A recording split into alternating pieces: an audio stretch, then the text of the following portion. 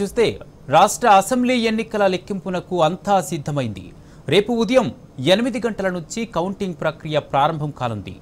నలభై తొమ్మిది కేంద్రాల్లో ఓట్ల లెక్కింపునకు ఎన్నికల సంఘం పకడ్బందీ ఏర్పాట్లు చేసింది. కౌంటింగ్ కేంద్రాల దగ్గర మూడంచెల భద్రత ఏర్పాటు చేశారు.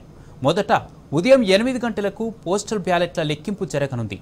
ఆ తర్వాత ఈవీఎంల లెక్కింపు చేపట్టనున్నారు.